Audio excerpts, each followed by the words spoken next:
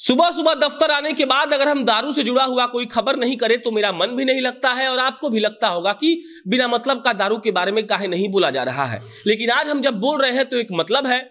मतलब ये है कि दारूबाज जो जितने बिहार के हैं, वो खुश हो जाइए, क्योंकि नया फरमान सरकार का बजट सत्र में आने वाला है। फरमान ये है कि शराबबंदी के कानून में कुछ संशोधन होने वाले हैं। अब सवाल ये कि संशोधन क्या होगा? अब ये बताने से पहले नमस्कार, मेरा नाम प्रशांत राय है और आप जनता जंक्शन देख रहे हैं। कहा जा रहा है कि सुप्रीम कोर्ट और कोर्ट ने जब लगातार बिहार सरकार पर इस बात को लेकर तंज कसना शुरू किया कि बहुत सारे शराबबंदी के शराब पीने के मामले कोर्ट में पेंडिंग पड़े हुए हैं और इसको लेकर अन्य केसों की सुनवाई नहीं हो रही है और एक साल लग जा रहा है किसी केस का नंबर आने में, तब लगता है कि सरकार अपने नींद से जागी है।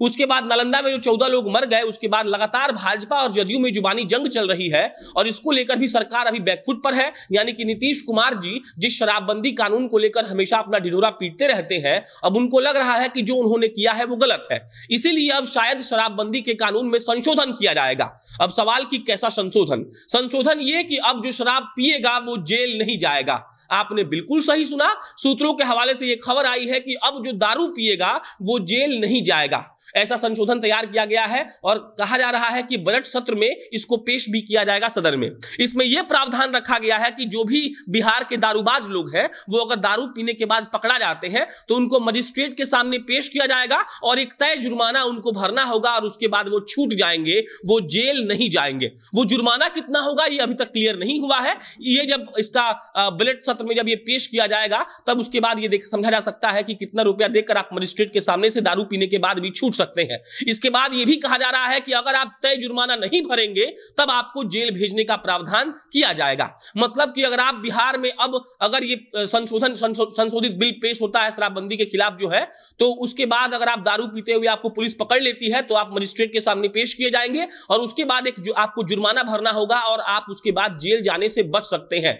लगातार जब बिहार की सरकार यानी कि नीतीश कुमार की सरकार पर यह सवाल उठ रहे थे कि उन्होंने शराबबंदी को सही तरीके से लागू नहीं किया है, हर जगह शराब मिल रहा है और उसके बाद जब माननीय कोर्ट ने यह कह दिया कि नीतीश कुमार की सरकार में सबसे ज़्यादा शराबबंदी के मामले आ रहे हैं, एक पैग पीकर, एक पाउच पीकर, ढाई सौ दारू पीकर लोग पुलिस वाले लोगों को अरेस्ट कर रहे हैं और वो लोग जेल चले जा रहे हैं और अच्छे अच्छे जो मामले हैं, जो बहुत ज़रूरी मामले हैं, उनका सुनवाई एक साल तक रुक जा रहा है। एक साल बाद उनका नंबर आ रहा है और इसी बीच लगातार जब बिहार के अन्य जिलों से ये खबरें आती रही है कि जहरीली शराब पीने से फलना फलना आदमी मर गए तो इसके बाद सरकार का बैकफुट पर जाना तय था और अब सरकार ने यह फैसला लिया है सूत्रों के हवाले से यह खबर आई है कि अब शराबबंदी के कानून में संशोधन किया जाएगा और वो संशोधन ये होगा कि अगर किसी को ऐसा पकड़ा जा रहा है, जो दारू पी रहा है तो उसको जेल भेजने के बजाय मजिस्ट्रेट के सामने पेश किया जाएगा और उसके बाद वो आदमी तय जुर्माना भर कर जेल जाने से बच सकता है। अब सवाल कि ऐसा क्यों किया गया?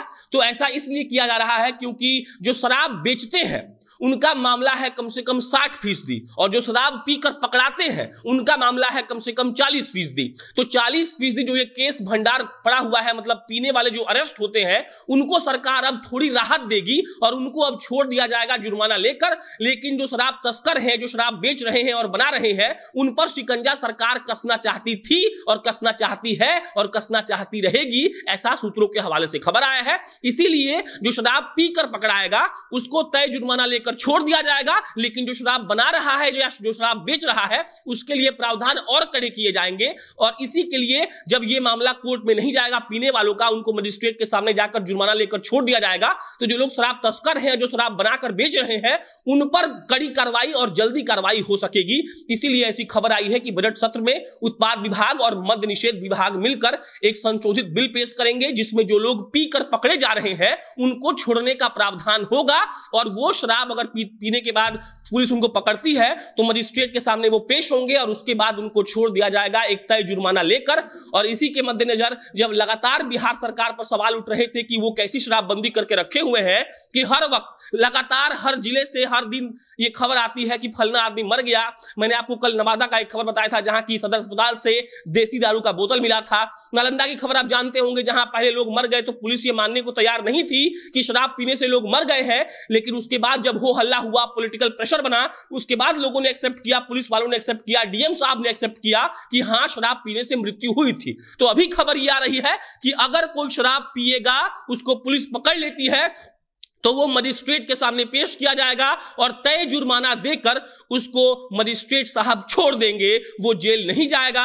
अगर वो जुर्माना नहीं देता है, तभी उसको जेल भेजा जाएगा, ऐसा प्रावधान किया जाएगा।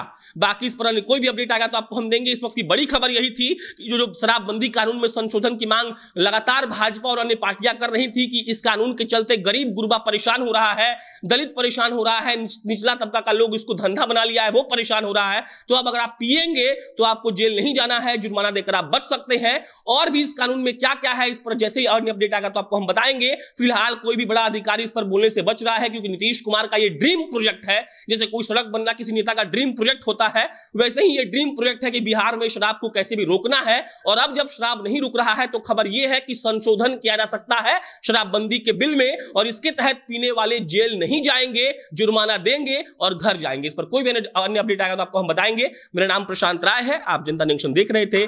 बहुत बहुत धन्यवाद।